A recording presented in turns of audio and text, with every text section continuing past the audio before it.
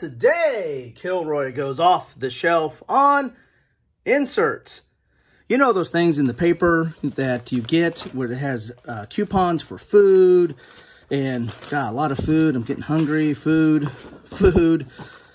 Yeah, all these are food. Uh, oh, Bed Bath & Beyond. We got to have plenty of Bed Bath & Beyond. Uh, Kohl's, you know, all those kind of inserts. Well, those are called freestanding inserts in the biz or in the nomenclature of retail. But I'm not talking about those kind of inserts. I'm talking about the stuff that you get in your war games. And this really kind of goes back to my days of, of starting out with Avalon Hill. And Avalon Hill always had an insert of some sort. You had stuff like, you know, a little mini catalog or a little, you know, advertisement about what their games are. Of course, you know, this had the prices as well. You know, you can see there, look at that flight leader, 20 bucks, Squad leader, 20 bucks, or 30 bucks. Wow. But they always had a catalog, like Avalon Hill Games and Parts price list. And, um, you know, I used to throw these away or get rid of them. Uh, I guess sometimes I might even ordered from them, but you know, I, I, now I try to keep them when I get in there because I think this is kind of nostalgia, uh, and I might actually do a segment on this at some point.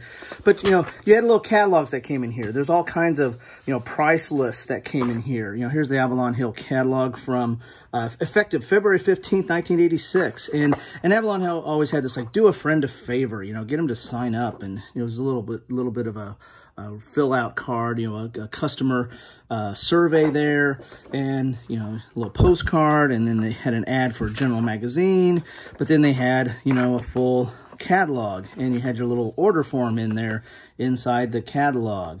Uh, and here's one from 87 with the, you know, the order form in there and the, and this is Victory Games. By then they had Victory Games and Victory Games had its own little feedback card that it had there. And then, of course, Avalon Hill went to color. Look at this.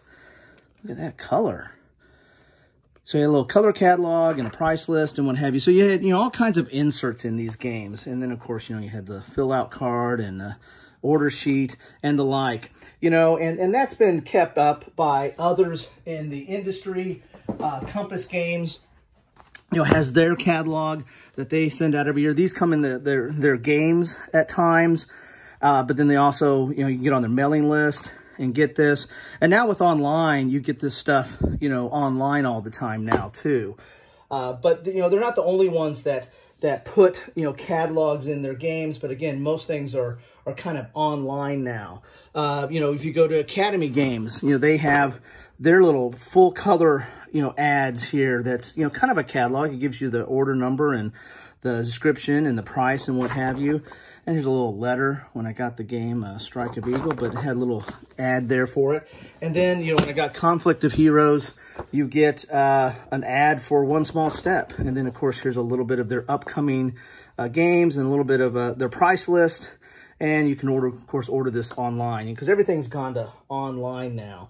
Uh, you know, magazine games are not uh, alone in this uh, either. You know, the Against the Odds magazine always had, you know, little advertisements or talks about their games.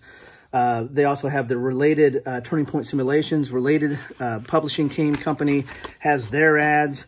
And then you have ads for full games here. Here's Stalingrad, you know, and, uh, you know, against the odds and all kinds of inserts that come in there.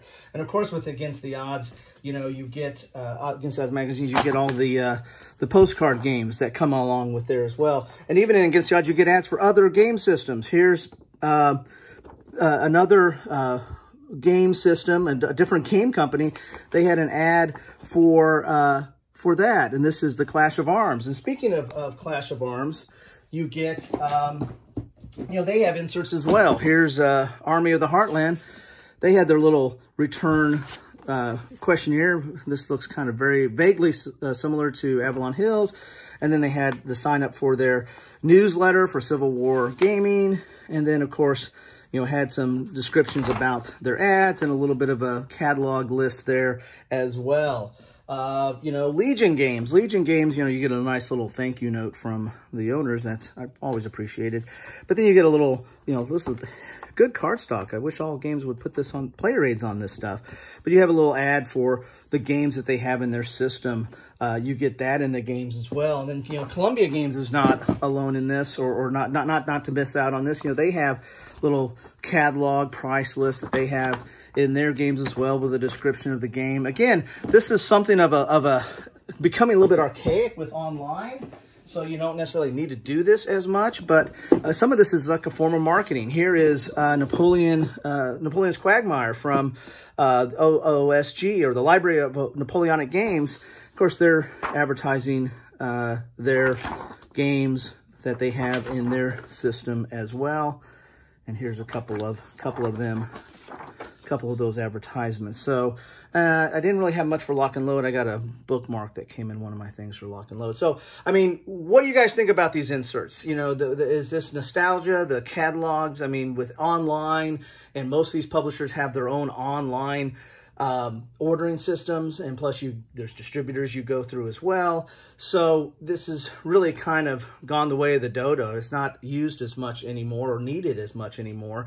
Uh, the marketing of putting stuff in there, you know, that's you know, typical and, you know, with social media and all the different, you know, what we're looking at right now and all those other different uh, mediums of which you can get the word out, you know, is this really effective? You know, putting a brochure in there of telling about their updated games. You know, what do you guys think? You like inserts? Is it a mess? Do you treat them like freestanding inserts and they just kind of go in the coupon bin? Or do you hang on to them and they become part of the game and part of the package of what you bought? And so you have the complete package. Or is it just kind of, uh, I don't need to look at that and, and it's just, it takes up room inside the box. What do you guys think?